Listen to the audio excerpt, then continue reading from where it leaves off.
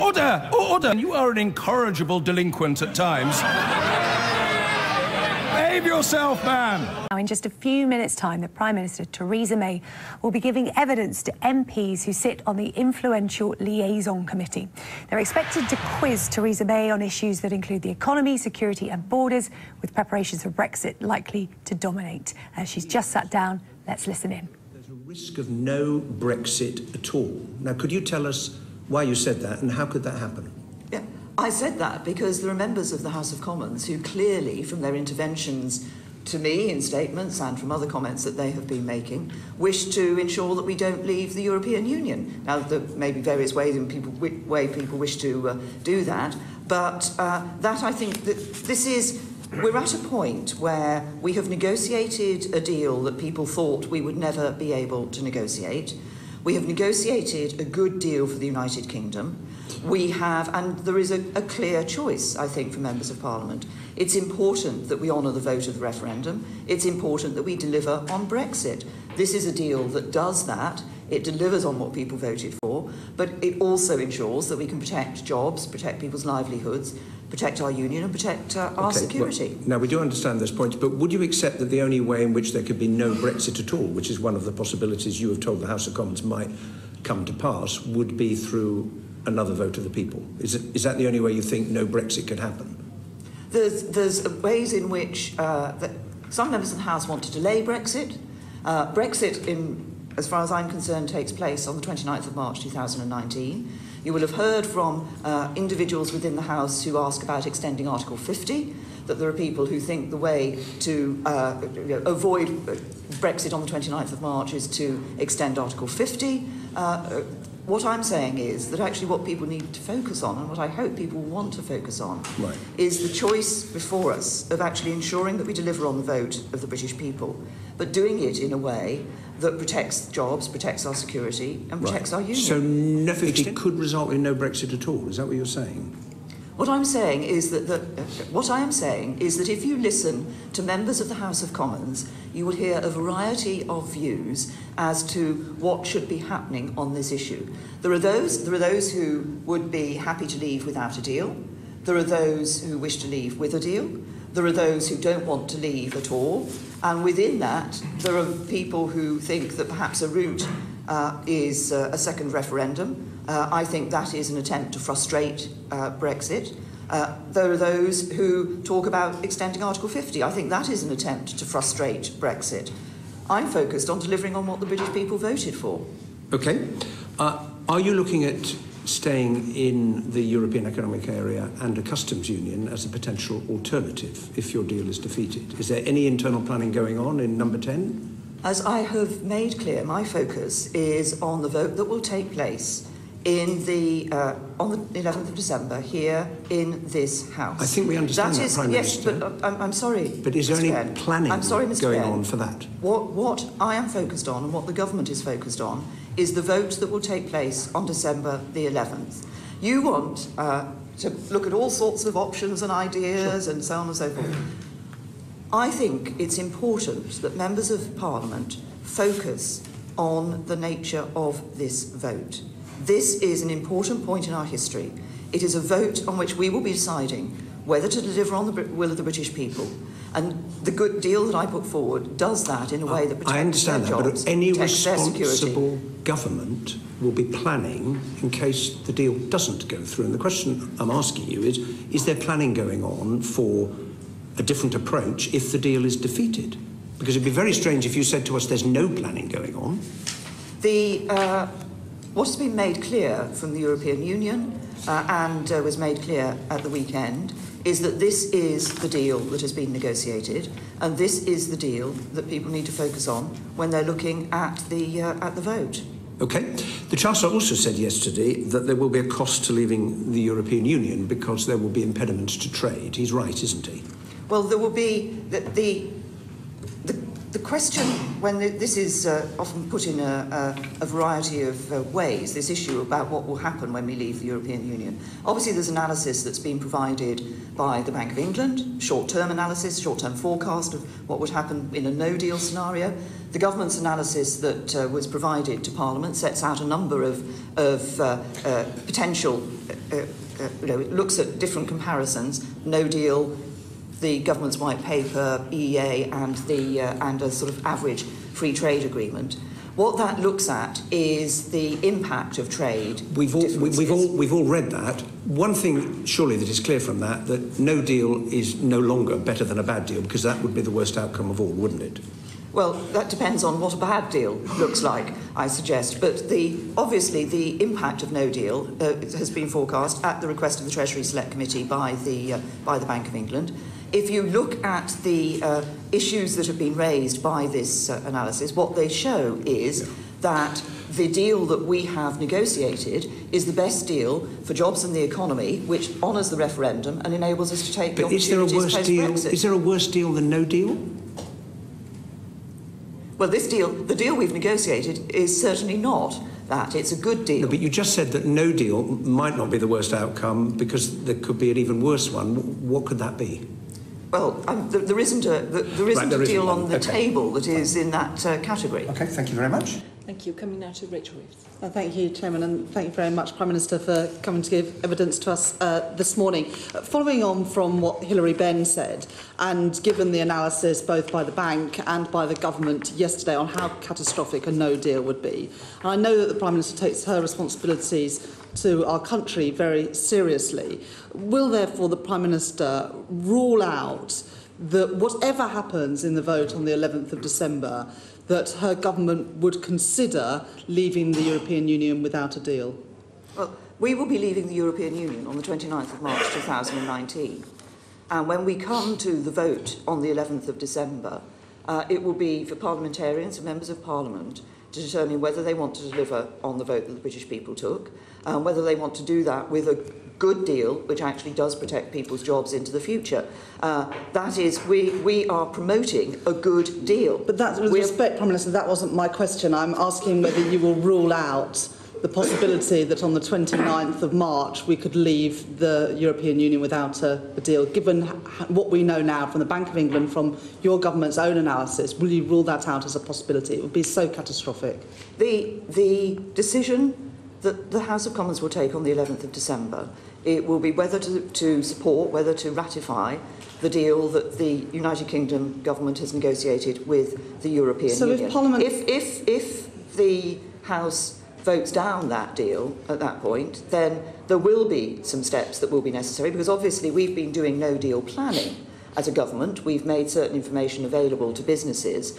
Um, but at, at a point at which the, if the House were to vote down the deal that has been agreed, given that the European Union has been clear that this is the deal that has been agreed and this is the deal that is on the table, then obviously decisions would have to be taken So in relation to the action that would need to So if be Parliament taken to prepare voted for... down the deal on the 11th of December, would you really, Prime Minister, given what we now know from the analysis, uh, contemplate taking Britain out of the European Union on the 29th of March without a deal, without your deal, without any deal? If, if Parliament votes down the deal on the 11th of December, there, will, there is then a process, as you know, that is in the legislation for the length of time for, uh, given for government to come back and make a statement about the next steps. But the timetable is such that actually some people would need to take some practical steps in relation to no deal if the government were to vote, if the Parliament were to vote down uh, the deal on the 11th of December. Okay, let's turn now to your deal. it's disappointing, Prime Minister, that your deal, the withdrawal agreement and the political declaration were not modelled in the government's own analysis and instead the analysis is on the July white paper rather than your deal. Um, why was that, Prime Minister? Is it because, frankly, there is insufficient detail in the political declaration to model it at all? The, uh, as you know, the political declaration sets a spectrum in relation to the balance of rights and obligations of access to the market versus uh, uh, acceptance of, uh, of rules, uh, which has obviously an impact on checks at the border. What we have done, that is, and the detail of that is being negotiated. It is still open for frictionless trade, Uh, what I have said in the House of Commons is that, and I've been honest with people, we haven't persuaded everybody in Europe yet about absolutely frictionless trade. The ambition is there to be as near frictionless in the political declaration, to be as near frictionless as possible. What we did do, we thought it was right to do, was to set out the sensitivity analysis of that spectrum. And we took a midpoint on that spectrum, which is the 50% sensitivity analysis, which has been identified. And I think if you look at some of the comments that have been given about the analysis that the government has put forward, for example, the chief economist of the IFG has been clear that they set tests that we needed to address to ensure MPs and others were able to scrutinise the modelling and interpret it appropriately. And those tests, the published report passes those tests and is something that should be taken seriously. But given that in July uh, the white paper had in it frictionless trade, and as you just said, Prime Minister, the political, political declaration wasn't able to achieve that objective, can we assume that the, uh, um, the outcome of the, the political declaration without frictionless trade will be a worse economic outcome than what was in the July white paper? The, uh, what the analysis has shown is a 50% sensitivity point. There's a spectrum in relation to that, uh, that uh, analysis, which, of course, goes alongside the spectrum of checks versus access to the markets. Uh, but it, is not the case, it is still the government's position that we will be uh, negotiating to achieve uh, frictionless trade. What you see in the political declaration, and you'll see it in the language around the ambition for uh, ambitious customs arrangements in the future, is a clear recognition of the need to reduce that friction as much as possible. I think it's still better to reduce it to, uh, to have frictionless trade. Um, but as I say, uh, there are those in the European Union who uh, have yet to be persuaded of that um, argument. I think the European Union are very much in favour of frictionless trade. That's why they're in the single market and the customs union, Prime Minister. Um, you said yesterday in Prime Minister's questions that um, the, the, the, the um, analysis does not show that we will be poorer in the future. But the government analysis published yesterday shows that we will be £100 billion pounds a year as a country worse off £1,100 per person per year. So can you confirm that under all scenarios analysed by the um, government analysis, we will be poorer in the future compared with our current position in the European Union? Yes. That's what the government analysis shows, isn't it, Prime Minister? Can I explain why I, uh, what I said in the Prime Minister's questions and why I made that point? I think if you went out to a member of the public and said we're going to be poorer outside the European Union than inside the European than, than we are today, they, they, they, outside the EU, they assume you mean poorer than today. Actually, that's not what we're saying. What we're saying is the economy will continue to grow. We will be better off in the future. The question is about the relative rates of growth on, in, the, uh, in the different models that are identified. The point is that being inside the European Union is not an option. Mm-hmm. But you, uh, so you can so confirm, what we, have to, though. what we have to look at is what is the best option outside the European Union because people have voted to leave the EU. And the best, what the analysis shows is that the best option outside the, the uh, European Union, uh, which obviously delivers on the vote by being outside the EU, uh, but is also the best for jobs and the economy. I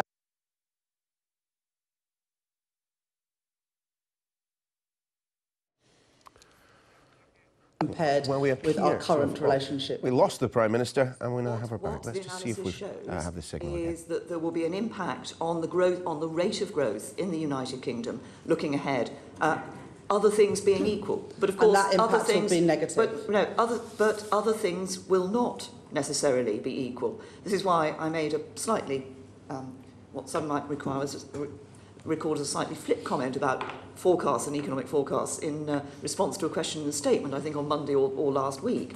But the point is that there are many variables that can change that will impact in relation to uh, what happens to our economy outside the, uh, outside the European Union. Some of those are in our hands and decisions that we will be taking as a government. Obviously, there are other, other uh, aspects in terms of the interna international trade.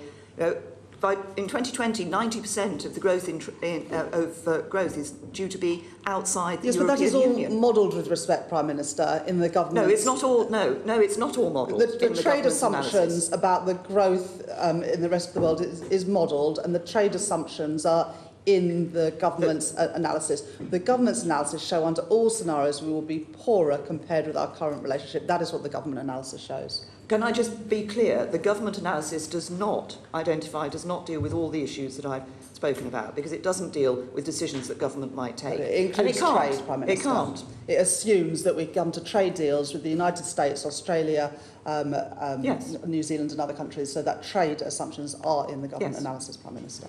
Thank you. Meg Hillier. Prime Minister, you have said that austerity is coming to an end, but all the economic analysis shows there'll be less government income when we leave. So how are you going to end austerity? Well, we're already showing how we end austerity. We're showing how we end austerity in the uh, in the budget. We're showing how we end austerity by the sorry, extra no, money but Prime Minister, we'll be that- putting in the national Sorry, that, that's now, but I'm saying when we leave, there's going to be less money, and yet there's, you've said austerity is coming to an end. Um, there's a p- p- 20 billion going into the NHS, for example, but there's a lot of other demands, as my committee highlights routinely. How are you going to end austerity with the financial challenges we'll have when we leave? The, what we are going to do in terms of ending austerity is ensure that we are able to continue to uh, deal with our debt and see our debt falling, uh, but and put more money into public services. We will be doing that as our economy grows into the future, as the economy will continue to grow into uh, into the future. But, but Prime Minister, We've economy, you've, you've just, sorry, Prime Minister, but you've said to, in response to Rachel Reeves, the economy will grow at a lower rate, in your view, on the basis of this economic analysis. So there's less money coming in. So will you be raising taxes or increasing debt? No, the, the economic analysis shows the trade impact, and that trade impact shows the impact on the rate of growth in the future. Other things being equal, other things, of course, will not necessarily be equal in terms of government decisions and, and so forth. So that's why I say that you have to be very careful when you quote the analysis in looking at exactly what, um, what it, it is. But if you look at the, but in the spending review next year, we will be setting out the spending path and plans for the government over the next few, three Yes. years when we are outside the European Union. Now, there are, many, there are many aspects that will go into that. There are also many issues. I mean, I could point out to you, not in answer to your question, but I Well, could point out as a separate well, point that the Bank of England analysis actually shows that our deal does have that sort of deal dividend. Well, uh, well the bank, but the Bank of ahead. England analysis, uh, is, uh, Mark Carney has said, uh, was we the worst recession since the 30s. So there will be less money coming in. The spending review. No, the, the, Bank the spending England, Bank of England analysis is a no deal well, situation. Yes, well, that's one of the options that's out there, as the chair highlighted. We, we have a very uh, rocky vote coming up uh, in the next 13 days. So, given where we are at now, given that the spending review could be a, will be the first post Brexit spending uh, set up for the government. There will be less money available under any analysis, especially if we crash out. How are you going to end austerity? Was that spending review going to be a cuts round? you will I'm, I'm not going to sit here and tell you what the spending review is going to have in it before we before the spending review no. is but you is have two up. prime minister you have no, simply no, you have two options no, you could raise taxes or you could increase debt no, they're the simple no. options I mean obviously there's a lot more to it but in simple well terms. there is a lot more to it with due respect and I well, think you understand that, that there's yeah. a lot more to it and those are not and let's just look at you know, look at some of the circumstances back in the summer when we announced the money into the National Health Service we spoke. I mean, there is the money that we will no longer be paying into the European Union, but we also spoke about we also spoke about the fact that at that stage we thought we might need to uh, ask people to contribute more through taxes into the money that we're putting in the National Health Service. What we then saw in the budget is that we have been able to show how we fund that uh, fund that National Health Service increase in, in, uh, uh, without actually asking people to raise uh, taxes. So this is why I'm saying you don't. There are, these aren't well, absolutes that but, either you do absolutely. this or well, you do Prime Minister, either you do Y or you do X. But we can, there are many variables in this. We get a lot there of smoke and mirrors from your ministers about how finance, how, how government finances is, is going. But to, today we hear that the Met Police, and certainly experience of mine and my constituency, are not investigating a third of all crimes. We've had, through my committee, we see routinely real challenges in the public services. So if austerity's over, you're going to have to fund that somehow we're going to have a, less money coming in after Brexit. So what's the plan? And you will see how we will be funding our public services over the next three years when we announce the spending review. Right. Well, and, and on the withdrawal agreement, as my colleague has highlighted, that hasn't been uh, properly uh, modelled yet. Is there other plans to have some modelling of that before Parliament, before the vote? The withdrawal agreement? Uh, the, uh, the, the plan, yeah, the withdrawal agreement. And the political agreement. You mean the political Sorry, sorry, yes, the, These are yes, two separate- Yes, sorry, yes. I mean the political declaration. Yes, me, I the, the political declaration is the uh, is the uh, uh, sets out it Yeah, sets yeah, out the I know spectrum. what it sets out, I've yeah, been clear yeah. about what the government will be aiming to achieve. But the, anal- We've but the government across an analysis looked at different options, but not the option that's before us. That's the point. The, what, the, there is a spectrum. So will it be doing- will it be doing that before There is a spectrum that is identified in the political declaration. We will be negotiating uh, in relation to the rights and obligations, access to market versus checks that will be necessary. What we have done in the analysis, and it is, in, I think, is entirely right and proper, and that is accepted by external bodies. We have put the sensitivity analysis so that people can see, have some idea of the impact of uh, the variation of where we appear on that spectrum. The aim of the political declaration, the clear intent of the political declaration, is to be as low down that spectrum as possible. I, I will continue to argue for it to be frictionless. Okay, is there any more information going to be coming to Parliament before the vote about the economic impacts of Brexit on the basis of the deal that you've struck? Uh, the, we have provided the economic You- analysis. well, okay, well, we'd say it doesn't go fine. Can I just move on to the preparedness of government? We've, my committee has produced nine unanimous reports in the last year looking at government preparedness. And there's a real concern that the very best outcome is suboptimal, especially if we crash out without a deal. So what, what are you going to be doing to make sure that there is proper support for business and taxpayers generally to deal with the outfall of Brexit, given that we, we have shown, dem- demonstrably shown, that government departments aren't going to be ready in time? Well, uh, government departments are, as you know, the Treasury has put uh, uh, money, made money available to government departments to deal with both preparing for a deal and preparing for no deal. That is entirely right and proper. All those arrangements. Well, we know the money's there. Made. I mean, but, but they haven't. They haven't. they acknowledge. Many of your civil, civil servants have acknowledged that it's suboptimal. That they're not going to be able to deliver everything perfectly on the 29th of March. Do you agree with that?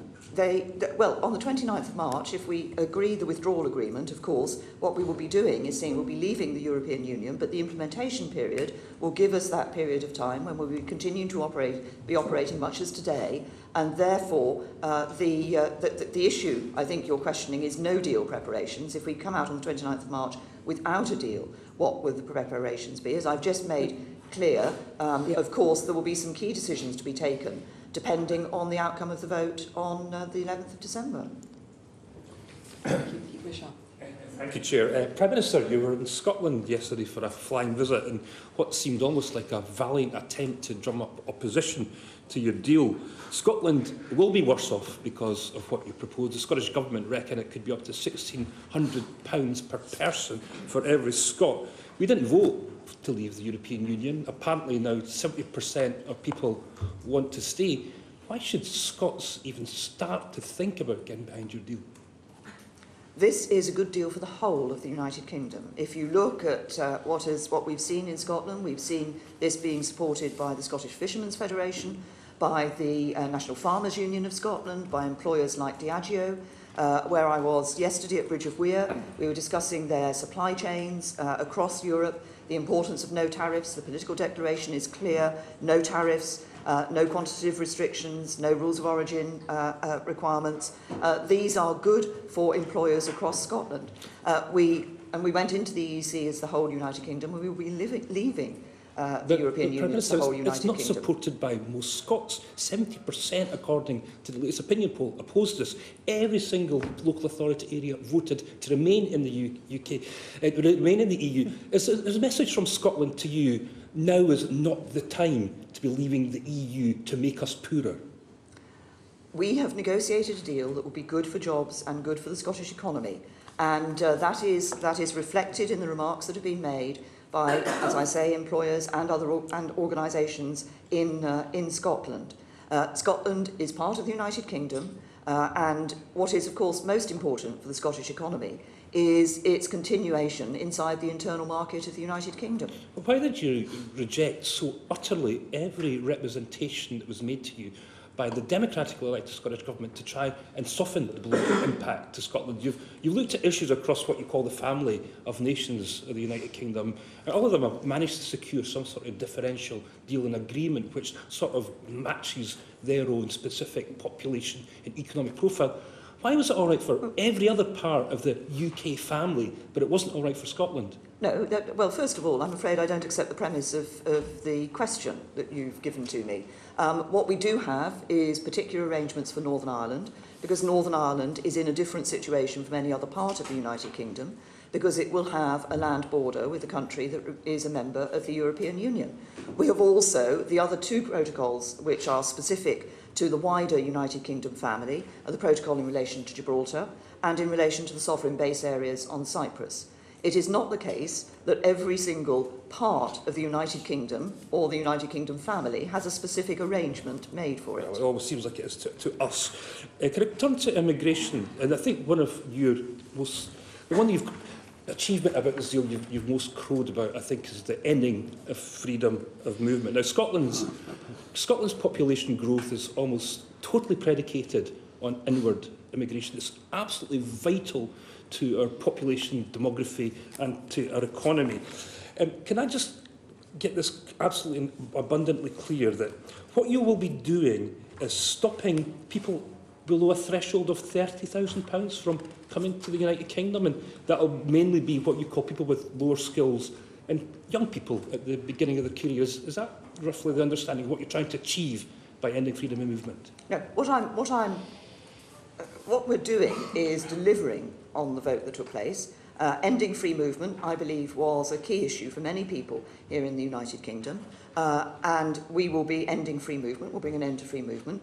What this will enable us to do is to put into place an immigration system which applies to the whole of uh, you know, the world outside the United Kingdom. Up until now, we've been able to have immigration rules for countries outside the EU, but not for countries inside the EU. We will be able to have a single immigration system that covers all of those. Uh, we asked the Independent Migration Advisory Committee to look into this issue, um, to consider the shape and form that such an immigration system could, should take, taking into account the requirements of the UK economy. They did that, and their proposal was that rather than having a tier two cap, a number set, uh, which we've had up to now for outside the European Union, we should move to a skills-based system.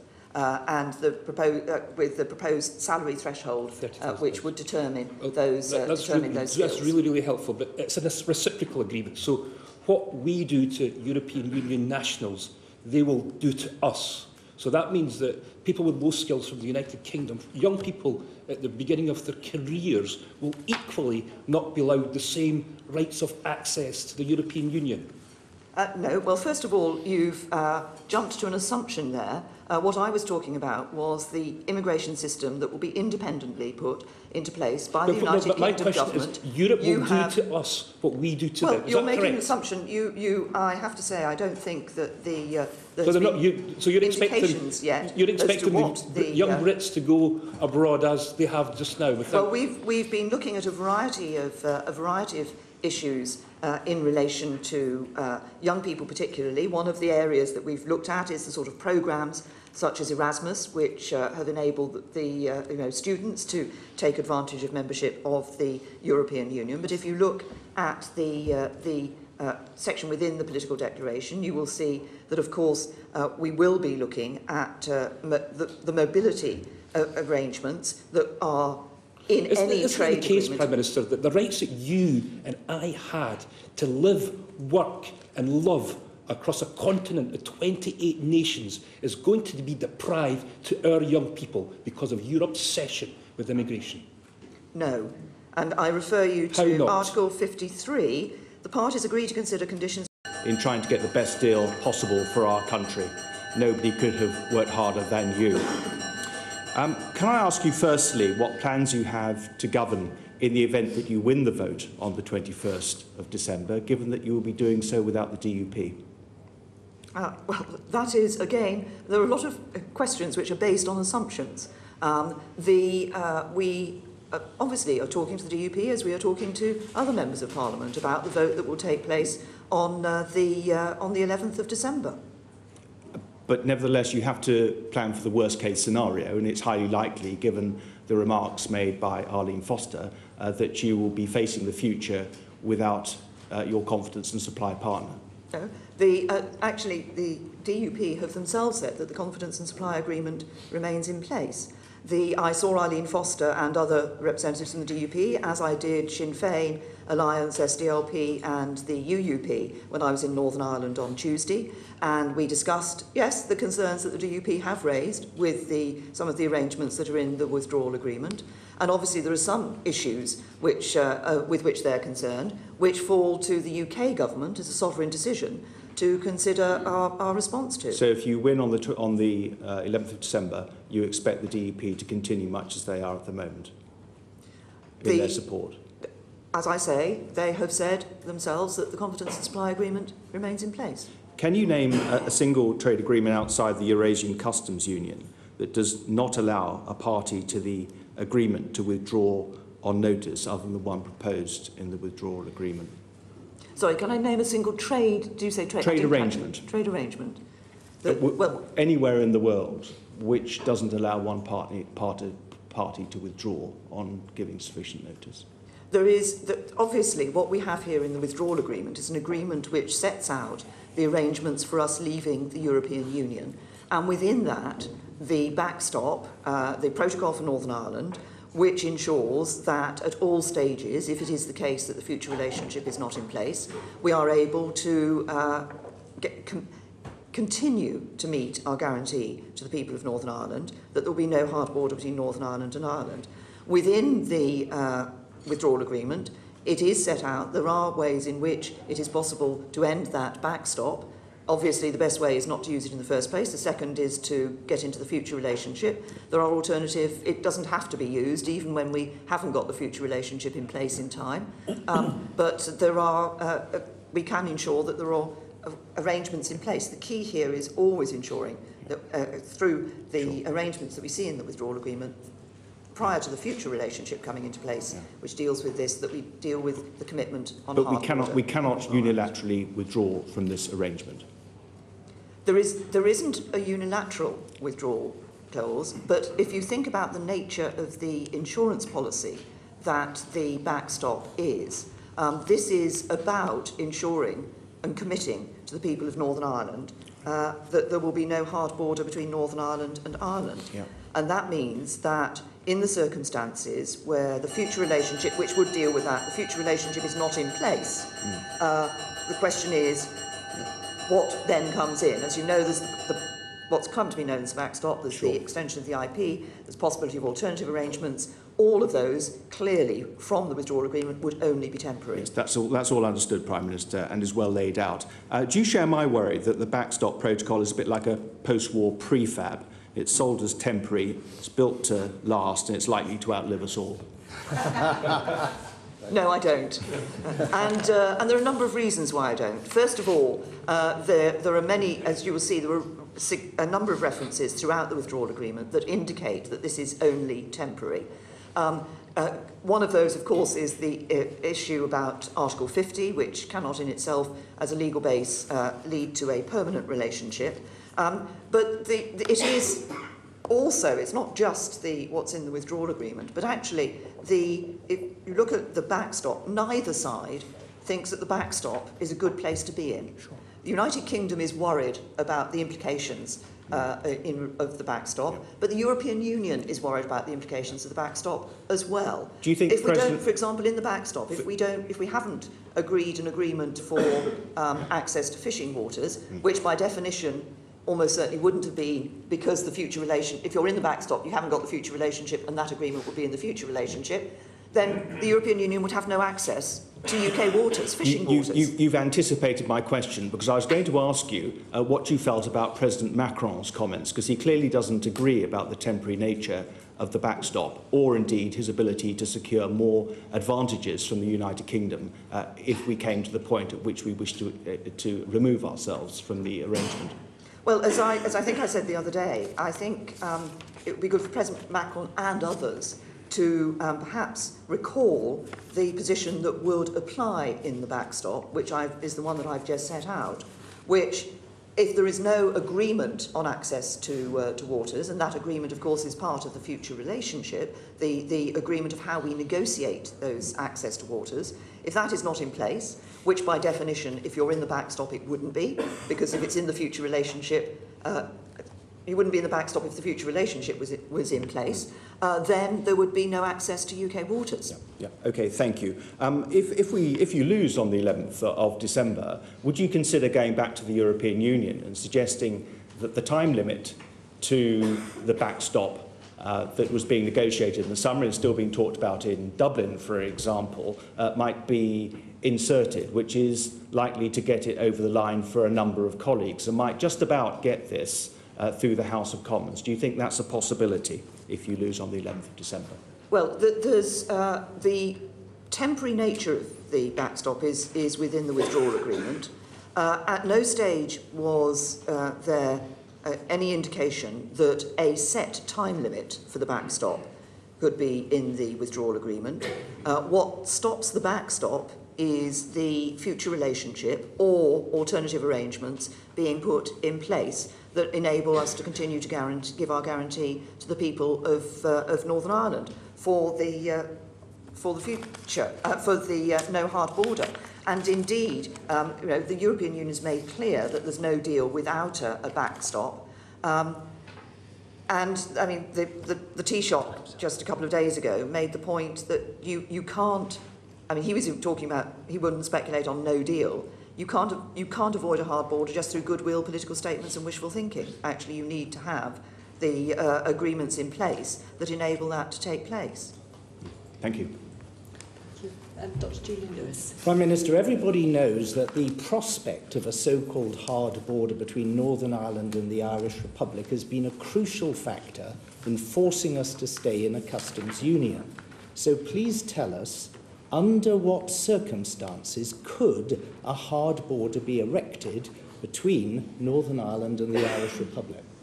Well, first of all, if I may, uh, Dr Lewis, the, we are not being for, the, the, the statement being forced to stay in a customs union might imply to some who are listening that that is going to be the long-term permanent relationship of the United Kingdom with the European Union. It is not.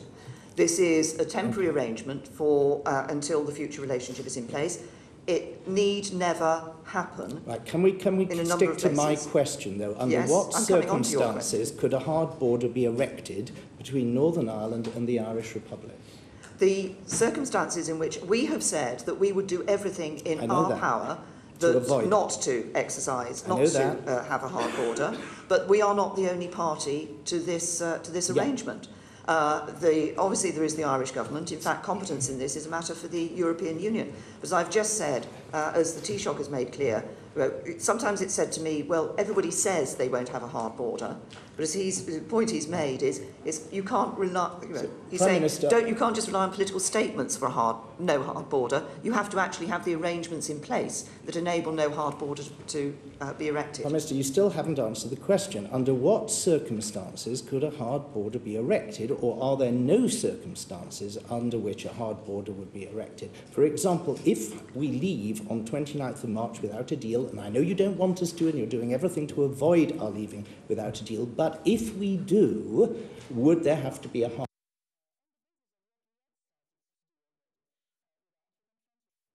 Uh, I'm afraid we just have a little interruption in that broadcast live from Westminster. Theresa May uh, giving evidence to MPs there about her Brexit agenda. I think we may just have it back. Could not to erect a hard border, All but there would be a decision from the European Union and the Irish government, and the concern that uh, that they would have would be about the fact that we would then be Right. in a different Right. set of circumstances on customs Right, you're- and so you're not forth. gonna- and how not- do you check those? You're not going to tell me any specific circumstances, but do you accept that there are some circumstances under which a hard border might have to be erected? Well, that's Because otherwise, what are we worrying Yeah, about? well, that, that, the, the, that's the point. The point is that because you cannot guarantee that there will be no hard border in all circumstances Okay. unless we have put in the arrangements to ensure there is no hard border. Right, well, let's, let's assume, because things don't always work out the way we want them to work out, let's assume that we're in some scenario whereby a hard border needed to be erected.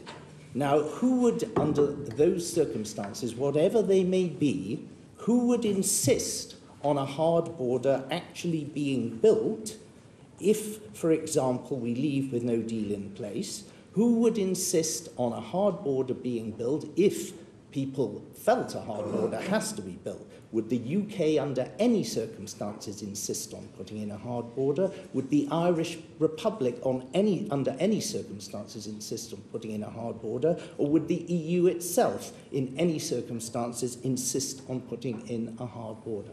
Well, I can only speak for the UK government, mm-hmm. and I have made clear that if there is, if we leave the European Union in a no-deal scenario, mm-hmm. we will do everything in our power to avoid there being a hard border. Right. So let's assume then that in circumstances unspecified, somebody is insisting that there must be a hard border. Who would actually build it? Would the UK build it? Would the Irish Republic build it? Or would the EU build it? Now, I asked you this question on the 17th of October, but you didn't answer it. You merely stated, we are all working to ensure there will be no hard border between Northern Ireland and Ireland. So please answer it now. Who would physically put this hard border in place? We certainly wouldn't. The Irish certainly wouldn't. And how could the EU possibly do it if neither of us were going to do so? Oh. The, first, again, you have asked, I can only speak for the United Kingdom government in these, uh, in these matters. And we have said that we would do everything to avoid there being a hard border on the, uh, between Northern Ireland and Ireland. Uh, others, decisions for the other parties in this are decisions for them, yes, not for me. But if they took those decisions, Prime Minister, they would find it impossible to implement because we would not build it for them and the Irish wouldn't build it for them. So unless they're anticipating sending in the EU army to build it for them, it would never be built. So the whole thing amounts, does it not, to an excuse to keep us entangled with the European Union for fear of building a border that is never going to happen under any scenario whatsoever. No, That's the truth. No, it is it? not, and I, dis- I do disagree with that. So, what are the I disagree with that, and I think it is important. And if I may just address this point, there's this assumption or this, this sort of point that is made that somehow this question of the hard border in Northern Ireland is a matter that has been pushed on the United Kingdom government uh, by the European Union and or the government of the Republic of Ireland. It is not. We have a commitment to the people of Northern Ireland. They are part of the United Kingdom. I want them to be able to continue to lead their lives very much as they do today when we leave the European Union. Not having a hard border uh, and enabling businesses to operate as they do today is an important part of that commitment that we have made. And if I may refer again to the remarks that the Taoiseach made, uh, what I will say is that you can't avoid a hard border just through goodwill, political statements, and wishful thinking. So who would so put it is up? important. It is important for who? us to recognise that we have a commitment to the people of Northern Ireland. Now, I believe that commitment is best met, as does the Taoiseach, as does the European Union, through the future relationship we are going to have with the, uh, with the European Union. That is why it's important that we, uh, uh, that we have within the withdrawal agreement the commitments for both sides using their best endeavours to ensure that relationship is in place by the end of December 2020. So there is no question of a backstop, no question of an extension to an implementation period, no question of alternative arrangements, because they are in, it, it is dealt with in the future I relationship. have to stop now, but I can only just note you have not shown who would physically erect it, and the answer is no one. Right, we're going to move on now to Yvette Cooper. Prime Minister, I know that you do rightly care about the um, nor- risks to Northern Ireland's security. You also care immensely about and know about the security risks to the country and the economic risks to the country if there is no deal. So, knowing you for 20 years, I just don't believe that if your deal goes down, you are the kind of person who would contemplate taking this country into a no-deal situation. Am I wrong? The decision, it will be a decision for Parliament as to whether they accept the deal that I and the government have negotiated on behalf of the, Euro- of the United Kingdom with the European Union. I believe that's a good deal. For I understand, the United and I don't want to go no, over those previous answers. It, my, my issue is, I don't believe you are the kind of person who could contemplate no deal, even if you don't get this deal I don't think you'll do it. I think you'll take action to avert it. Am I'm, I wrong in my judgment about you? I'm, uh, well, I've had a number of questions now about what happens if. What I'm saying is very simple. Uh, my focus is on the vote that takes place on December the 11th. That's fine. I was asking actually because about I've whether you- the- because oh. I've negotiated what I believe truly to be a good deal for the UK. Okay, and I understand all of that. on the vote. The, I was asking about the kind of person that I, I think you are, but let me just then go into the specifics of the deal. Uh, can you confirm we don't have access agreed to the SIS2 database or the ECRIS database in the political declaration? We don't have uh, the SIS2 database and the ECRIS database specifically identified in the um, in the uh, political declaration. And you pushed for those what we, as well? What we what we do have is uh, reference to exchange of information on in, wanted or missing persons Sure. and objects and of But criminal records, but which of course are what SIS2 and ECRIS covers. But you've tried to The get a nature- specific reference. You have got reference to Prüm, you have got reference to PNR. So you've achieved some access to some specific things, but you haven't got access to those. But your security assessment assumes that you have. I mean, that is not being straight with people about the risks to security of what you've currently got in your political declaration and in your agreement. Well, the, but what the political declaration makes clear is that as part of the, the future negotiations, the nature of the access to those uh, uh, uh, on that data exchange will be part of the future uh, negotiations, but it is with a view to delivering Oh. capabilities that insofar as is technically and legally possible and considered necessary, and parties Okay. consider it necessary, and in both parties' interests, But it- but it doesn't approximate to those enabled by but this is, this is about whether or not we have the capability or whether or not we're in a Okay, specific... But you're, you're still measure. channeling around this. You haven't got agreement to it, and it is a risk. You know how important it is. Let me ask you specifically about borders and customs. When it says in paragraph 23, we're going to build and improve on the single customs territory, does that mean alignment to the common external tariff? No, because it goes on as uh, what it makes absolutely clear that it's in line with the party's objectives and principles above, which includes us being an independent, uh, able to have an independent trade policy. Okay, so if we don't have alignment to the common external tariff, why did you tell Parliament on Monday that we've got an agreement to no rules of origins checks? That is within the, uh, if you look within the uh, text of the political declaration, you will see the, uh, just finding It's paragraph 23. What it says is build and improve on the single customs territory provided for in the withdrawal agreement, which includes alignment to the common external tariff, which obviates the need for checks on rules of origin. So your co- reference to the checks for rules of origins is only in the context of the single customs territory, which includes the alignment to the common external tariff. No, the, the, uh, if you think back to that, it is wrong to assume that the only way to obviate the needs for rules of origin checks is for the United Kingdom to be uh, uh, only able to, ex- uh, to apply the common external tariff. That is not the case. What's the other What- way? well, The government published a white paper in July that showed the uh, showed another way of uh, doing Oh, this. so you've gone back to Chequers? The You've gone back to the Chequers agreement. Yes. So this is the, the, the max fax or the customs partnership and stuff that we know the EU has rejected. No, the, the, the European Union, one of the key elements of the political declaration is that the European Union did start off from the position of saying that there were no arrangements that would be available to the United Kingdom other than the, what come to be in shorthand the Norway model or the Canada model, uh, and Canada only for GB. Uh, in fact, what they have now accepted is that there is, you know, that the United Kingdom will have a different relationship with the European Union, an unprecedented relationship with the European Union, because we will not just be any third country. And that means that we're looking for an ambition in our customs arrangement, which is set out within the political declaration, is made Yeah, very but you're clear still only on ambition. I mean, here's your, your problem is you're trying to say to some people that you're going to get a frictionless trade, you're going to be pretty close to Norway. You're trying to say to other people you're going to be pretty close to Canada and you're going to have a free and independent trade policy.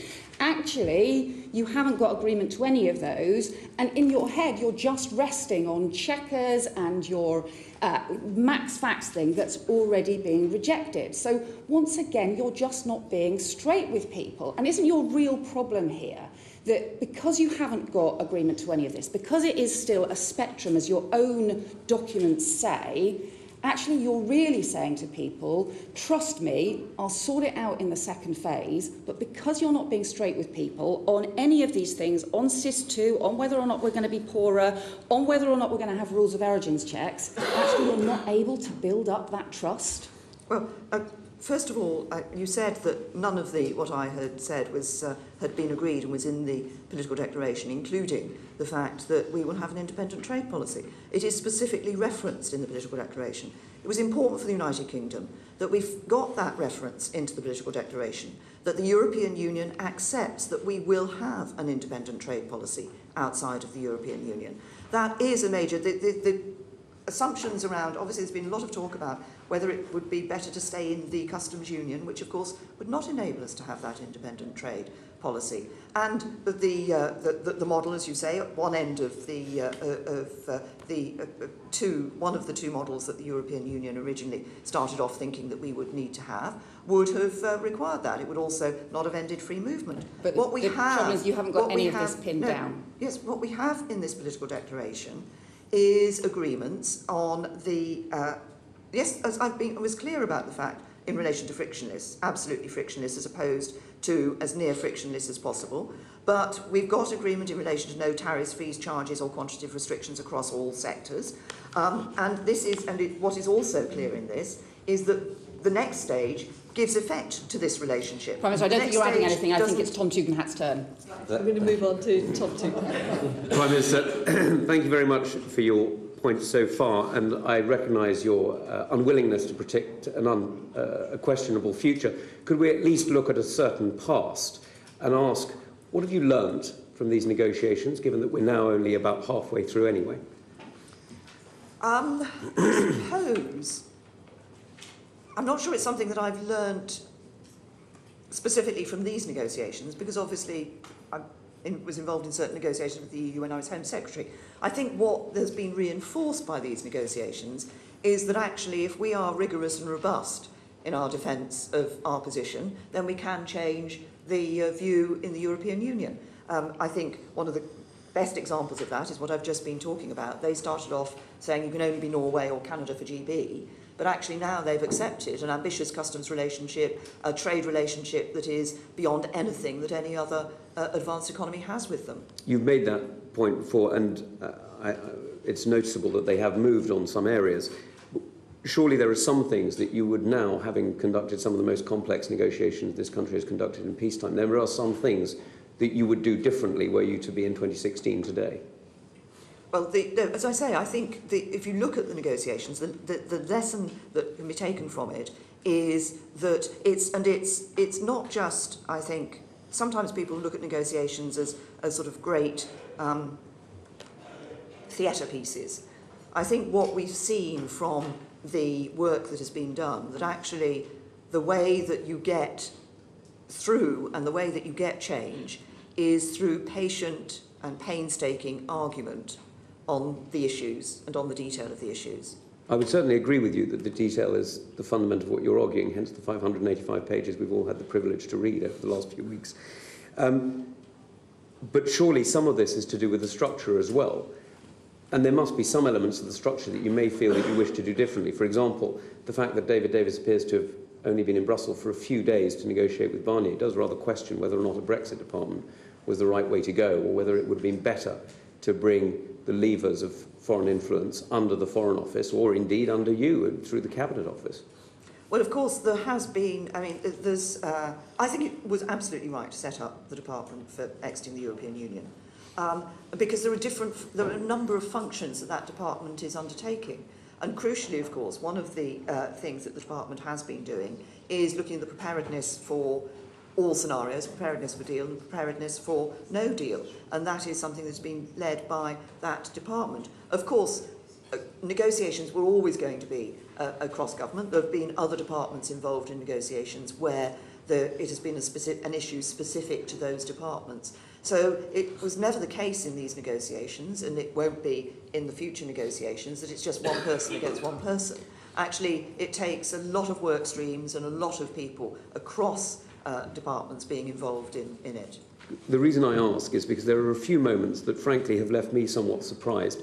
Certainly seeing you walking out of the meeting in Salzburg where to see the Prime Minister of the United Kingdom surprised at the outcome of one of the most important talks uh, that has been conducted on behalf of this nation did raise certain questions as to whether or not the Foreign Office had prepared its advice properly, whether the advice had been fed through properly, or whether it had been fully uh, taken on board. And what the Permanent Under Secretary of State, uh, Sir Simon McDonald, said the other day to our committee was that the advice had been prepared properly. So why were uh, you apparently surprised by the reaction of the European leaders? And does this suggest that there is a better way of coordinating for the next stage of the talks? Well, I think the, the, it, it is certainly, I have no complaint with the advice that was, uh, that was given by the Foreign Office or indeed by the, all the others that were involved in this. I think all I would say is that there are sometimes moments in these negotiations um, where particular, a particular position is taken. And we, you know, in any negotiation, either side, when the other side takes a position, has a decision to take as to how to react to that. And I felt it was right to react in the way that I did. And a last point, if I may, the Brexit Department has clearly got a very different role today to the one envisaged when it was set up, as it's now in reality the, the Department for No Deal. Does this mean that you'll be looking to change some of the civil servants from uh, diplomats involved in trade negotiations to uh, home affairs, uh, health, transport and others more involved in domestic policy to focus on preparing the United Kingdom for a no deal rather than preparing us uh, for the negotiations? Well, the, the, the job that DExEU is doing is preparing for, yes, it has a role in, had a role, and does have a role in preparing for no deal, but it also has a role in preparing for a deal. But it's not that you need all the expertise in DExEU. Actually, they do work, and they have been bringing uh, civil servants from across departments with particular areas of expertise into DExEU to look to be dealing with these issues. But uh, the, obviously, it works with other departments as well. So if you look at a department like DEFRA, um, they have had, because they're the department probably most affected in legislative terms, in terms of numbers of pieces of legislation uh, for uh, uh, the, with the EU, um, they have themselves obviously been doing a lot of the work involved in uh, preparedness. DExEU has an overall responsibility for that and ensuring that the cross-governmental activity is undertaken in a way that works and also that the, the work of one department isn't inadvertently um, uh, you know, affecting uh, the work of another department. So I just finally clarify? So, despite the fact that we've gone through the most complex divorce talks that any uh, country has been through, and despite the fact we're about to enter the most complex uh, marriage negotiations through this free trade agreement that we're hoping to negotiate with the, uh, with the European Union, there is no stage at which you'd wish to change either the yenta or the structure in which the uh, marriage broker organises herself. Well, I, I, I think I'm not sure that a remarriage is perhaps the correct analogy for uh, the uh, relationship that there's going to be in the future. We're going to be very good friends and working closely, uh, working closely friends together. Friends with benefits. Uh, the, sorry. I, did, I missed your quip. I'm sorry. Friends with benefits, Prime Minister.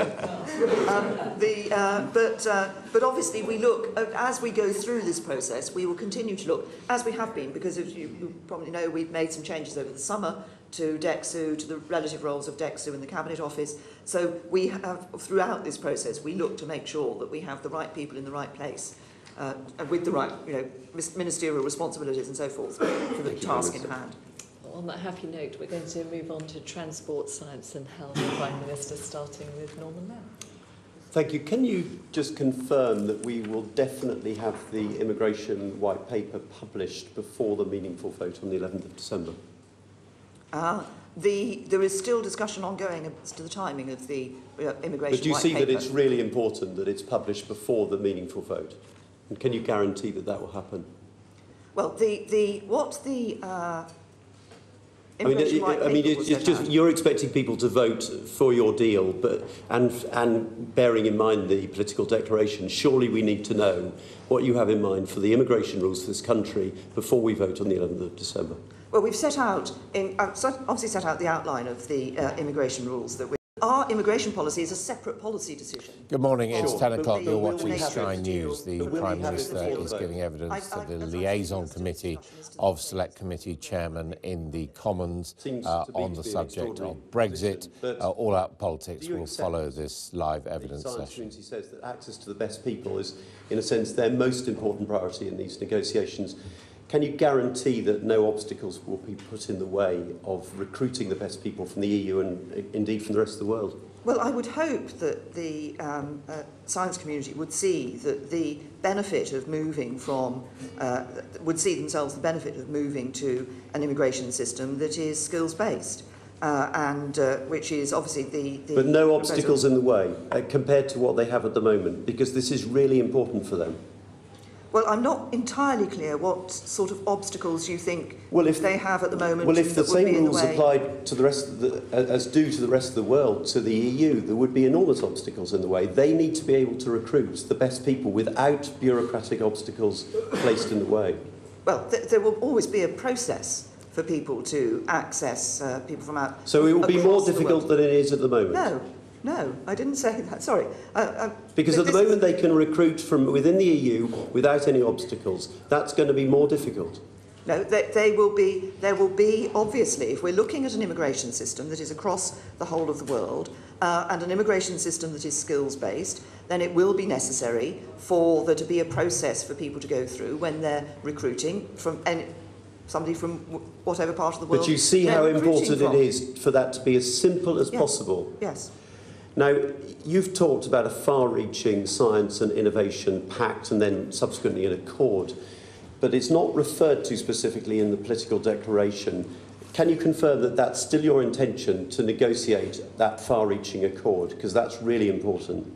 We are, I mean, if you look back to the speech I first gave in Lancaster House, yeah. I think you will see. That's when you mentioned it, but it's not science, in the political declaration. Sci science and innovation are, uh, were one of the areas where we do want to ensure that we continue to have that good relationship.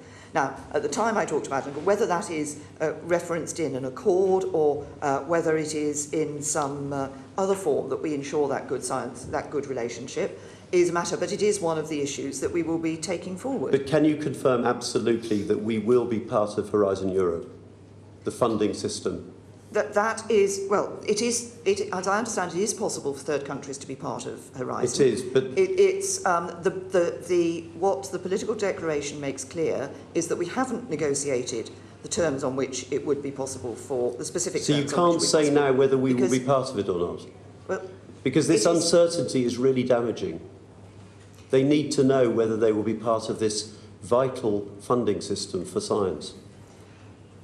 What we need to look at when we come to the legal text and the negotiations on the legal text is, of course, the terms on which uh, being part of that for the United would be possible for the United Kingdom. But what's the timescale? How long is this going to take?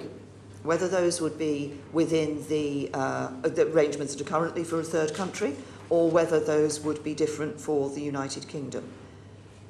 So no, no detail on when this is going to be agreed and whether we uh, and when we will know whether we will, we will be part of Horizon Europe.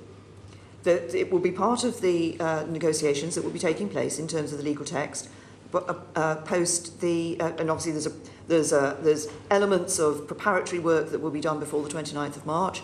The legal text can't be uh, determined and agreed until after the 29th of March.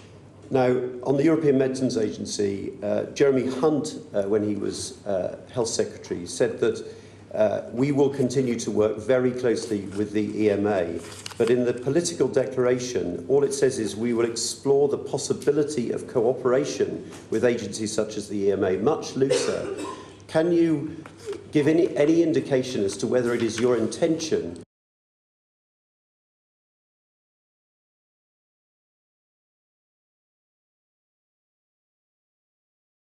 want to do is to negotiate a relationship that ensures that we are able to operate uh, in, in relation to the EMA in a way that is suitable for the United Kingdom for the future. Now, but is it your intention? Is, well, the question is whether or not the EMA does not have third country examples of, of membership, um, unlike EASA, which of course does. So there's a model in EASA which we believe um, could be the basis for a model for the EMA.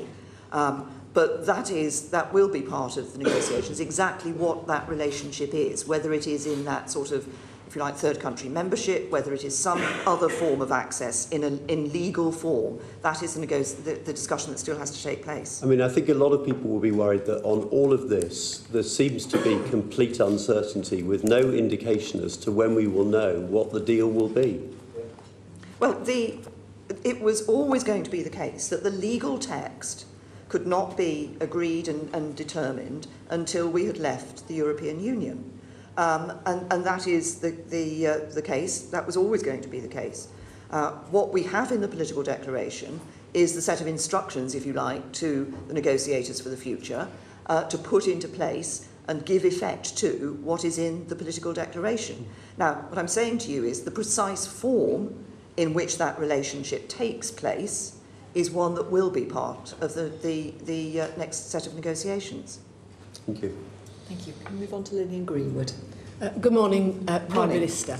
Um, I think whilst we want to focus primarily on contingency planning, I did want to just clarify uh, one point which you've just referred to.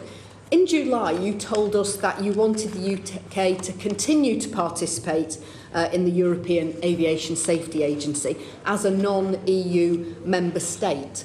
The political declaration refers only to close cooperation between the Civil Aviation Authority and the EASA. Can you explain the reason for that discrepancy?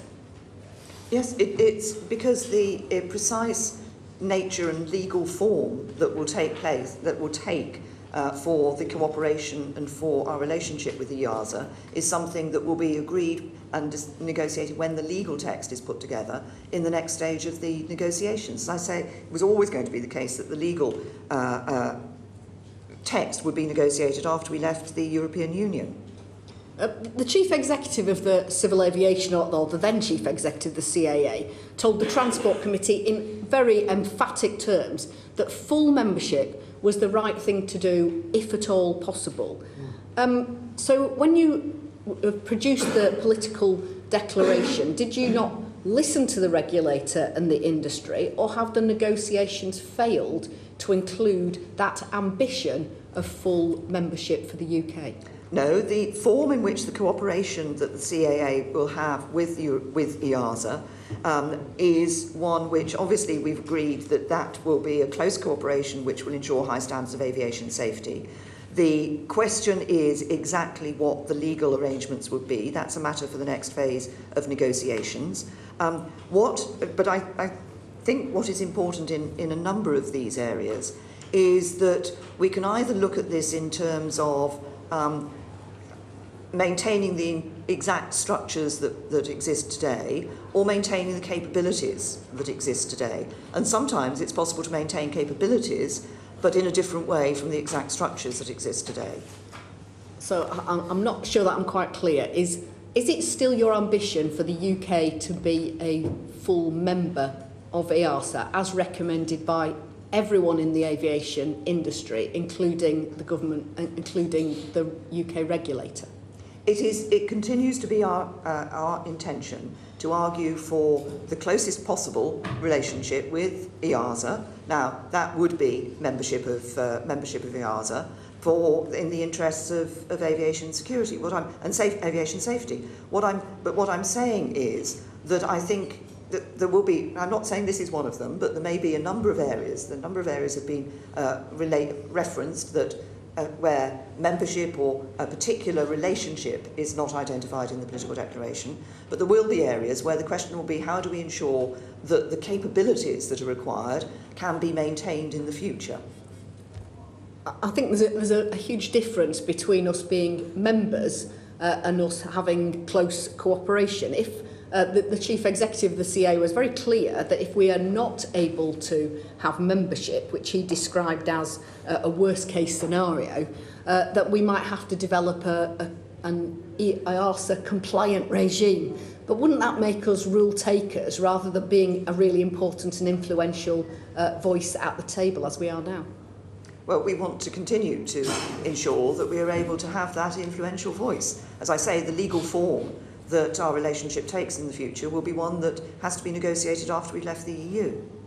I think some of my constituents would like Brexit to be over and uh, done with. Um, wouldn't they be right to understand that no matter what hap whatever happens on the 11th uh, of December, it won't be. Even if your deal is successfully uh, ratified by Parliament, and that we know what the mathematics uh, are, it is the case that Brexit will not be over and done with because there will be at least another two years of ongoing negotiations about EASA and a whole range of other things. Isn't it important that the public know that? The, the, there will be ongoing negotiations, but we we will have left the European Union. We will no longer be a member of the European Union because we will cease to be a member of the European Union on the 29th of March next year. I, th I think it's important that they understand that will not be the, even if that happens, that will not be the end uh, of discussions about Brexit because as you've acknowledged, there are many, many mm. important matters the, the, that are not secure. The, the, the negotiations on the legal text of that future relationship um, cannot take place until we are no longer a member of the European Union. So we will be continuing to negotiate on, on those matters, but we will not be a member of the European Union. So we'd be out so, without the leverage to negotiate what we want? No, we'll be out, but we will be negotiating on the basis of a political declaration that has set out clearly what we want. Apart from, in, it doesn't actually say anything about membership of a very important uh, European safety agency that has huge implications for our aviation and aerospace sectors. What it does is recognise that we will continue to have a relationship in order to ensure high standards of aviation security, uh, aviation safety. And that's what I think, I think the public will want to know, that we're going to be able to continue to ensure aviation safety. Turning to contingency, uh, in July, the National Audit Office said that the Department for Transport faces a considerable challenge in preparing for Brexit. And yesterday, the Public Accounts Committee said there's a real risk the Department for Transport won't be ready in the event of the UK departing the EU without a negotiated deal. Why is that department, the Department for Transport not ready? Well, the Department of Transport has been putting a number of elements of uh, preparation in place. It is one of the departments that has had legislation going through the House, for example, in preparation for these, uh, for these uh, all scenarios. But they're clear, but we, we heard that they're not ready. How will you make sure that that department, and indeed all others, are brought back on track? Oh, the, the work that the uh, Secretary of State for exiting the European Union is doing in bringing together the departments in looking at the preparedness. This is looked at constantly, uh, uh, both preparedness for deal, preparedness for no deal. As I say, there have been various elements of the, the preparations that have needed to be put in place, including elements in relation to Parliament. think we, we remain concerned that time is ticking and things are not ready. Thank you, Thank Chair. you. Um, Prime Minister, can I ask, are you concerned about the scale of the challenges that will face the NHS and, and, and most importantly patients in the event that we do crash out with no deal in, and no transition in 120 days? Well, I'm, I'm uh, you know, Chairman, I'm presenting a good deal to Parliament, which I hope I know, that Parliament will recognise as a good I, deal but and just will understand back to, to the but the Department for Health and... Sorry. I just wanted to come back to that opening, the, my opening comments, that given the parliamentary arithmetic, it does look increasingly likely that, that we could crash out with no deal. And, and given the scale of the consequences for patients, we're looking at supplies of critical medicines, medical products and devices, um, many areas where they can't be um, uh, stockpiled, for example, because they have a very short shelf life, complex biologicals. There are so many patients that will face very serious disruption to essential supplies and medicines. Is that keeping you awake at night? I'm ensuring that I mean, the Department of Health and Social Care is obviously doing a lot of work in this area. But I, I, I do come back, and they are looking at what is necessary in uh, were it the circumstances of a no deal. But of course, the, the, the way one, you know, the way to ensure that we get the good deal and yes. that we are able to see that smooth and orderly exit from the European Union when we leave on the 29th of March next year is to ratify the deal that the government has negotiated I, with the European Union. Can I just Union. take you back to a point that Yvette Cooper made earlier? Could any responsible government allow the scale of chaos that would ensue if we had no deal and no transition. Would, could any responsible government allow that? Could you allow that to happen, I, Prime Minister? I think the role of a responsible government in these circumstances is to ensure that government is prepared for uh, any scenario that, uh, that all scenarios that uh, um, develop and to ensure that where there are potential difficulties, that those are mitigated uh, to the greatest extent possible. That's the work that's being done by DExEU and by departments across government in relation to this issue. Yes, it, I accept that contingency planning is now happening to try and mitigate it, but, but would you accept that there would still be serious consequences um, for patients if we were to leave with no deal, and could you allow that to happen? Yeah. The Department of Health and Social Care is putting in place arrangements to ensure that in those circumstances, yes. it would still be possible for people to access the medicines that uh, are required. But do you accept that that wouldn't happen for everybody?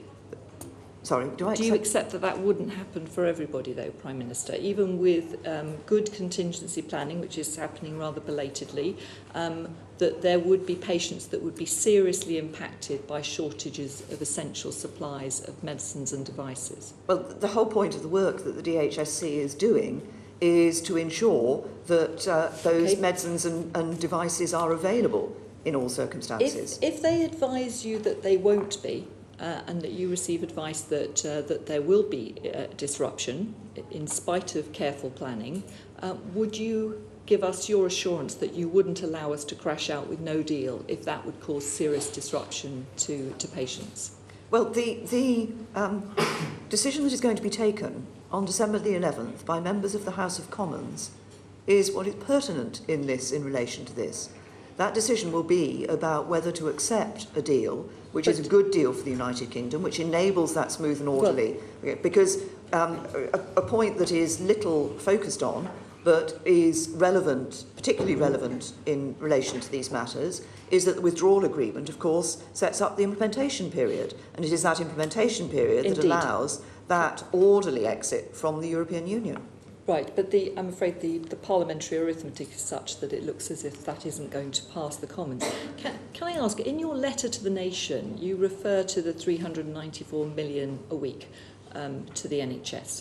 Could you confirm for me that that 394 million a week would happen whatever happens um, on the 11th, that uh, if we have no Brexit or indeed we have um, your, your future arrangements, uh, would we still have that 394 million well, a week? The government has made a commitment to right. the National Health Service and to uh, the funding of the National Health Service. We set that out in the budget.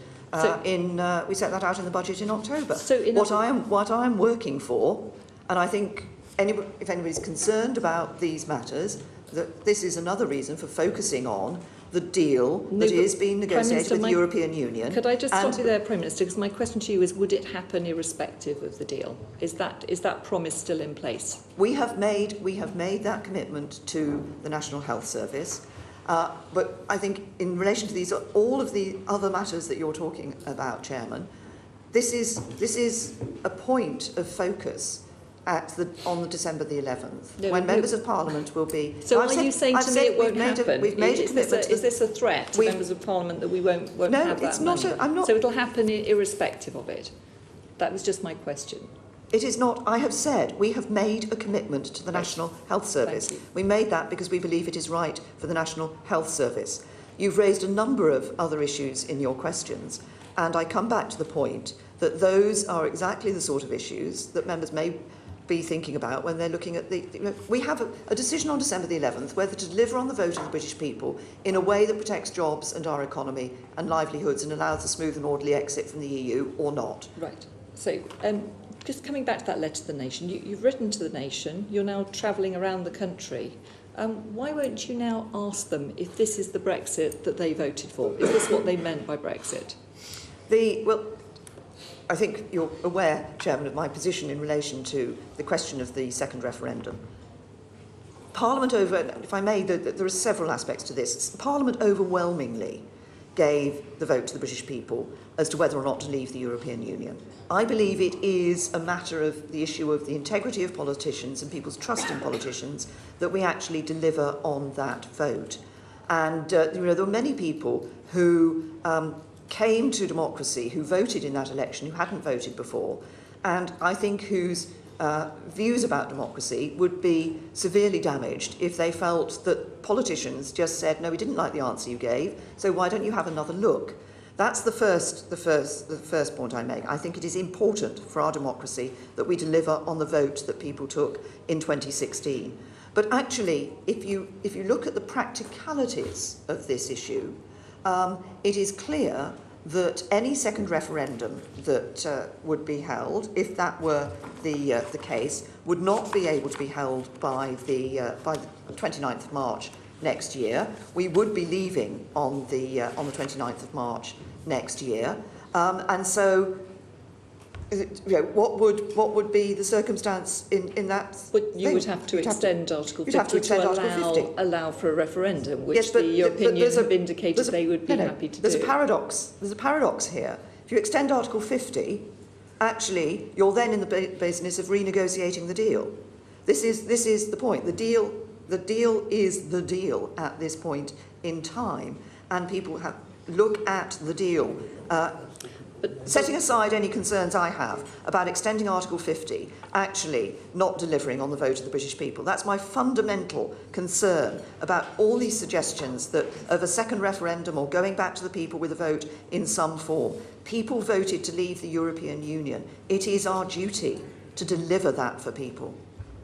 Right, but um, my understanding is that Article 50 could be extended to allow for a referendum on your deal. It wouldn't negate your deal, it wouldn't cancel the deal. It would just allow you to decide, um, sorry, it would allow the people to, to give you um, th their verdict on whether this is what they meant by Brexit. No, the, the, the first of all, I mean, my, my point about democracy still stands. I think it's absolutely important that we deliver on the vote that people gave. Having given overwhelmingly, this Parliament gave people that vote, uh, and I really believe that we should deliver on that.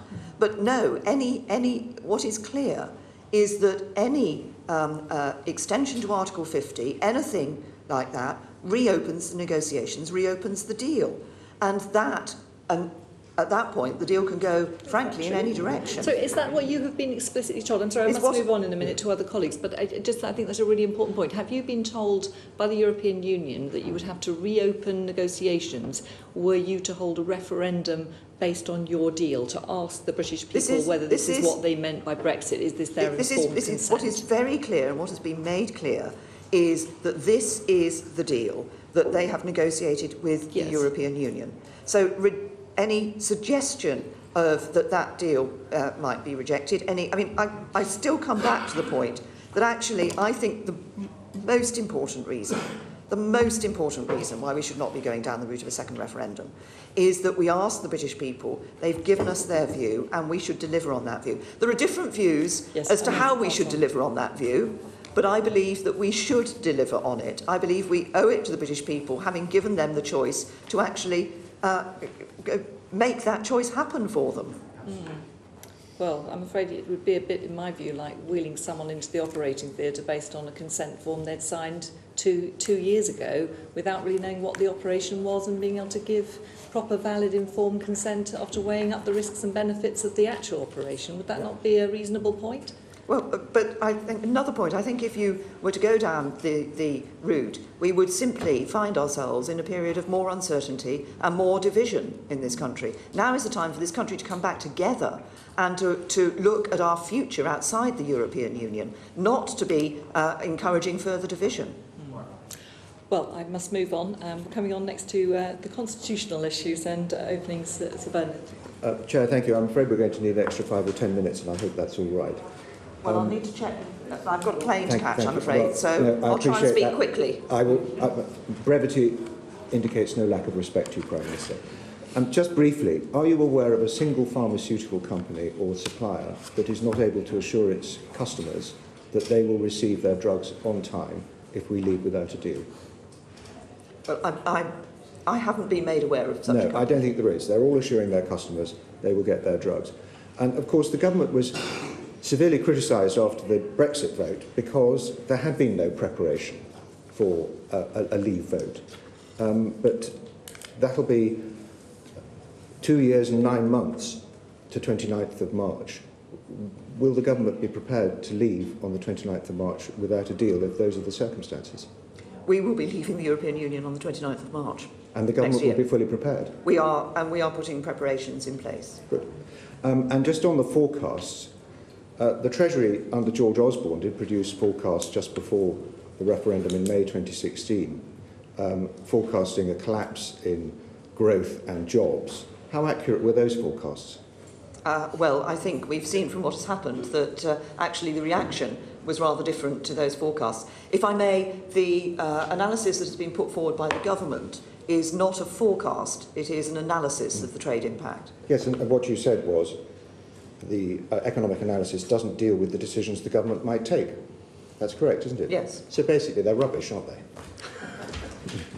well, I think there is a there is a, a difference of opinion about the benefit of uh, forecast analysis and so forth. The point is that the analysis only looks at certain elements. It doesn't look at every variable that can uh, uh, be brought in, uh, can affect what happens to our economy in the, uh, in the future, but it is the analysis that we uh, said we will bring forward to show the trade impacts of the various but it's, uh, it, scenarios. It's, it's quite something when our own Chancellor and our own Bank of England Governor trashes the future of our country as part of a propaganda exercise.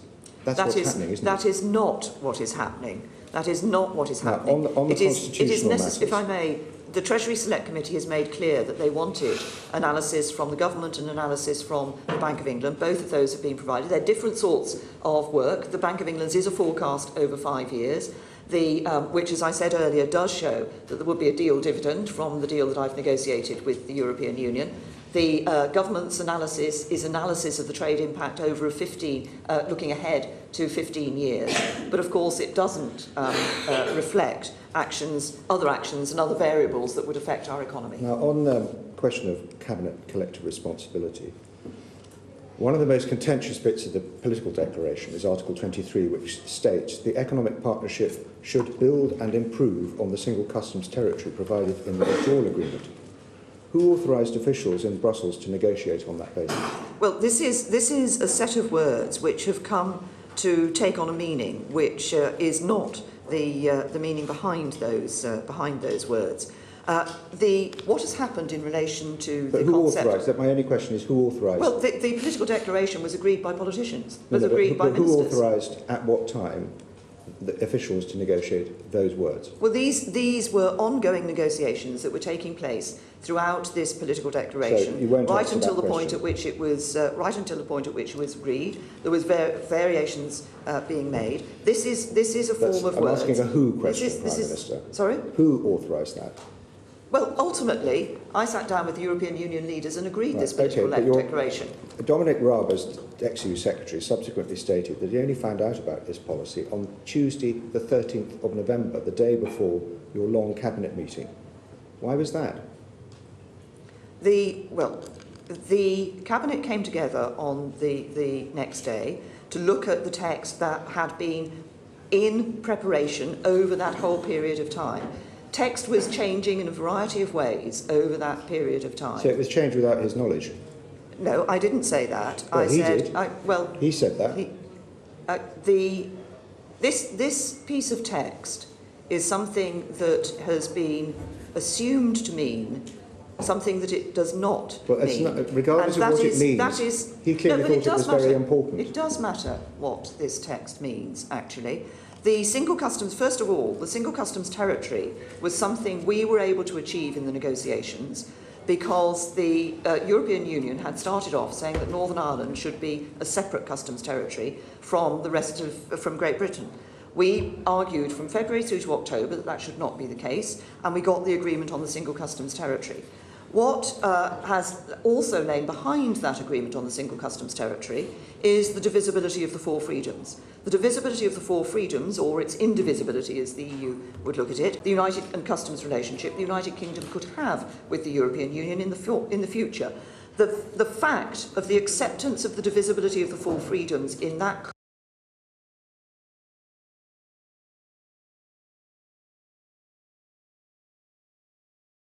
in discussing issues which are the responsibility of other ministers, consulting ministerial colleagues as appropriate. So why was the DExEU Secretary not consulted on this? The, the DExEU Secretary was consulted, was being consulted on an ongoing basis on text that was being developed within the, uh, within the negotiations. But you de- he was deputising for you in these negotiations and you didn't consult him. Why isn't that a breach of the ministerial But- but code? There were, the DExEU Secretary was being consulted, as were other ministers, on an ongoing basis when this Well, they political obviously weren't being declaration was, consulted. when this when the political declaration was being put together. I think I've made my point. Yes, uh, Prime Minister, uh, good morning. Um, there's an urgent question which is taking place right now, actually, on the advice of the Attorney General and the publication of it, and I'm going to be asking you some questions about that myself now.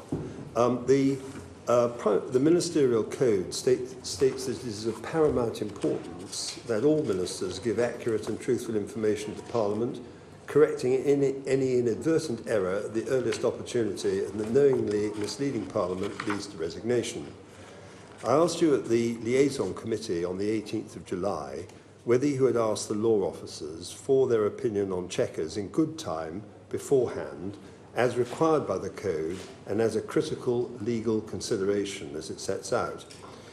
You merely replied that the law officer sits around the cabinet table and is thereby consulted, which is clearly not what the code requires.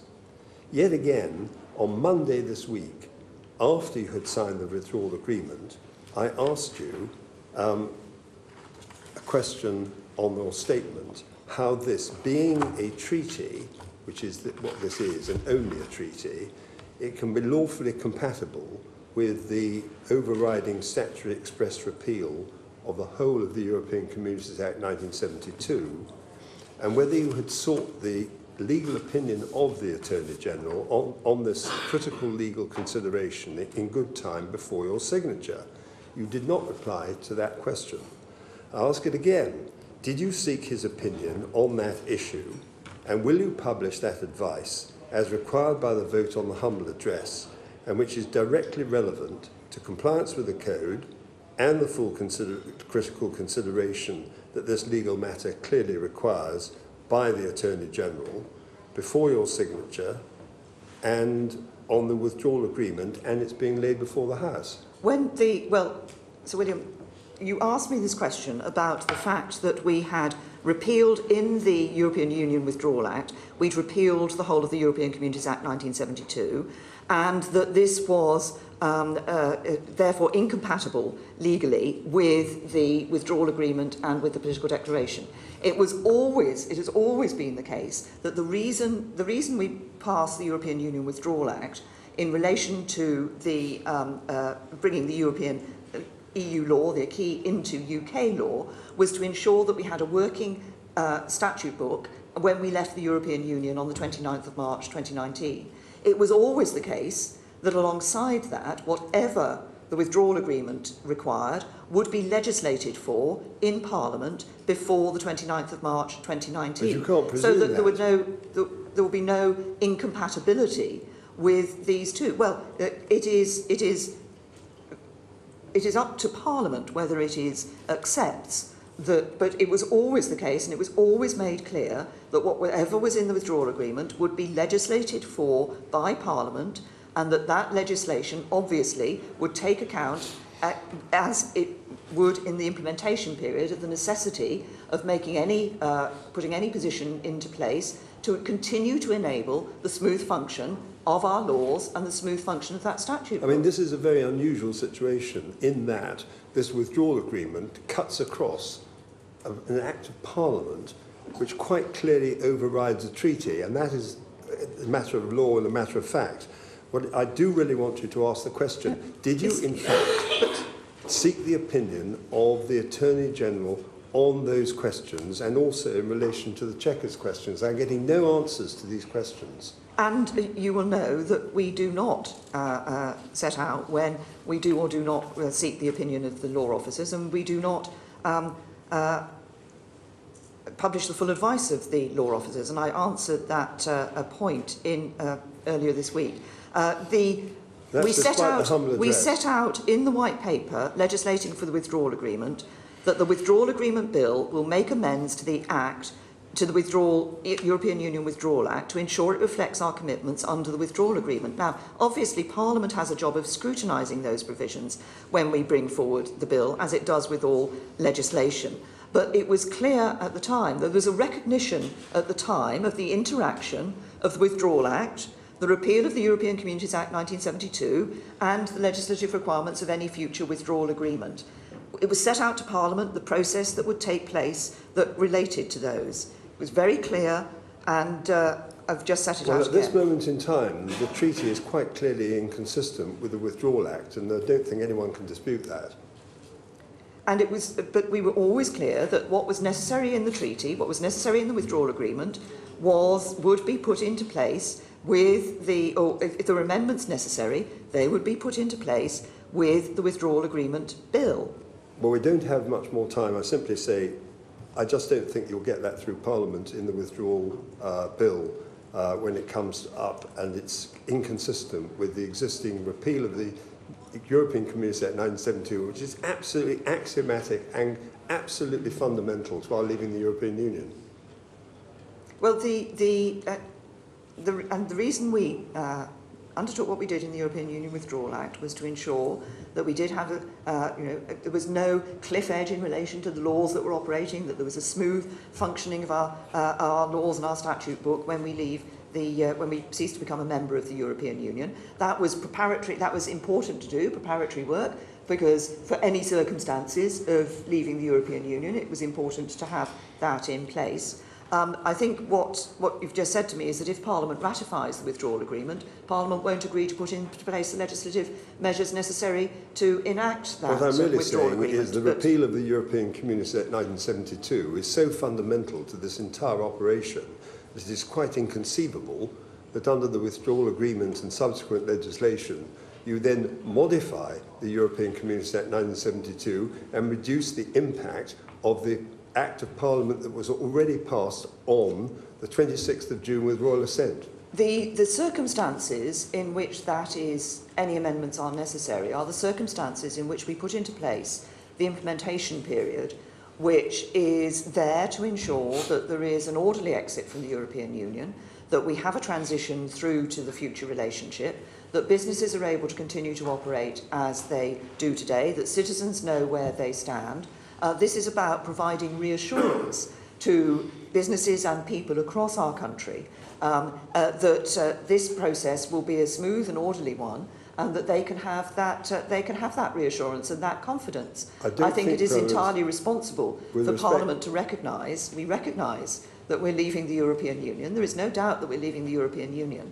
The question is how we do that, and if we do that in a way that protects jobs, if we do that in a way that ensures that we're able to give people and businesses the reassurance that they need as they're going through this uh, going through this process. I'm not sure that many people will be reassured that the idea that the European Community Act 1972 is going to be played around with in that way, given the fact that, as you quite rightly said, that was a decision that was taken on the referendum vote itself. But I think I have to leave well, it at that. I, I think people will be will want reassurance of knowing that there is protection for their jobs, that businesses are able to, uh, as we leave the European Union, that the, there will not be the disruption that uh, would that uh, people have said would be the case if we had not had that implementation period and that transition to the future relationship. So, William, we, we do have to end there. Prime Minister, thank you very much. and, and I very much hope as well that you will agree to come back to this committee should the vote not pass and we are in uh, uncharted waters um, after in, in early in the new year. Well, thank I, you. I, uh, I was going to say, I, I, I think we have arrangements for the number of uh, times I come to the committee in, uh, in any year. Yes.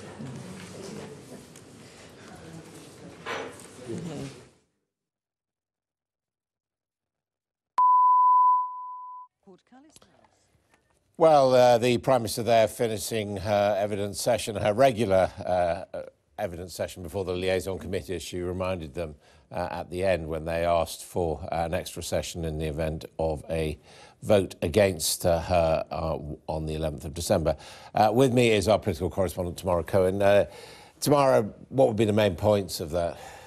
Well, I think the, the point the Prime Minister was trying to stress throughout is we're definitely leaving on the 29th of March. There are some members of the committee who were pressing her on uh, would Article 50 be extended, second referendum, uh, and so on. The Prime Minister was very uh, keen to stress that we are leaving, that free movement will be ending. And so the questions then led on to what happens in the event of no deal, because the Prime Minister was actually asked quite a, a pointed question by Yvette Cooper is it right that in the national interest you should allow no deal to happen since all of the government's forecasts suggest it would be extremely damaging? The Prime Minister said that she basically couldn't rule it out. She said uh, we have to prepare for every single scenario and that's what the government is doing. And when she was asked questions about whether she was concerned, for example, about the future of NHS patients, uh, she just said that the contingency plans are there and ready to be activated. The other thing that I thought was interesting, she seemed very much on top of the detail. I mean, considering she's got two weeks to convince MPs to vote for this deal, I'm not sure she won round anymore, but she was certainly very much on top of all the articles in the withdrawal agreement and the political declaration. She was very well versed when she was talking about our future relationship with the EU, and she was, you know, the, the MPs picked apart many, many uncertainties that are there. She first of all said that while frictionless trade is something she wants, uh, she conceded that many in the EU are yet to be convinced that she, we should have it. And then there was quite an amusing moment when Tom Tugendhat, the Tory MP, said to her, are we going to be friends with benefits uh, with the EU? And the Prime Minister looked a little bit confused about what he might have meant. Indeed. Thank you very much indeed, Tamara. Uh, well, uh, let's bring in uh, uh the uh, two people here to discuss the comments in today's newspapers. They are the columnist for The Times, Rachel Sylvester, and the head of politics at The Mirror, Jason Beattie. I mean, what was striking about that is Mrs May saying, we are leaving, and uh, basically every committee chairman pretty much saying, well, you're not going to win the vote. Yes, and, and I think picking up what Tamara said, one of the curious aspects about this is, is she's struggling to sell her policy. I mean, we've had, you know, almost nine hours with Theresa May in the last 10 days in the Commons. We've just had 90 minutes in front of this committee. And I don't see any kind of great way she's taking this forward. I mean, she's not winning people over. It's just this kind of very strict line she's got of we are leaving, these are the terms. But it's a very bad sales job, and she needs to brush on her patter quickly. How do you think she's doing? Is she persuading well, anybody? It's very strange. I can't understand what their strategy is because all the numbers seem to point to her losing this vote in the House of Commons. And she doesn't seem to be winning anything, anybody over. And there's this peculiar, almost like a sort of general election campaign going on with talk of TV debates. She's going around the country, um, you know, but actually it's not the voters out there who are going to be determining what happens. And then also in the backdrop, you've got all these, you know, it's an election campaign against the saying, oh, and our policy is going to make you poorer and it's all going to be terrible. It's, it's very, very odd. OK, thank you both.